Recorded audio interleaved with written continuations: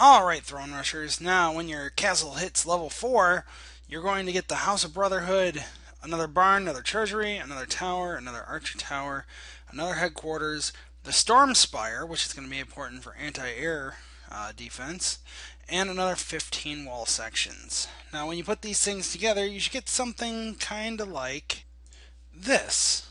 Um, pretty much uh, explain my uh, thought process for you. Now we moved the cannon over here, but still kept the double uh, thick wall over here. So this way the cannon can cover almost every, uh, you know, all the every area of the inside of the base. And then you have your archer towers kind of evenly spread out so that they can cover if uh, the enemy deploys any eagles.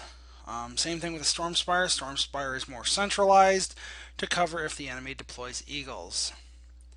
Um, everything else is inside, inside the safety of the walls. Um, you can double up somewhere if you like with the extra wall tiles, um, or you can spread uh, the inside of the base out more.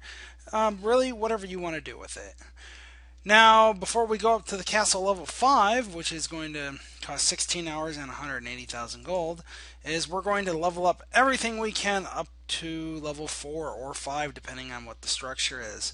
Now get everything you can upgraded as much as you can, and I will see you in the next video with a level 5 castle.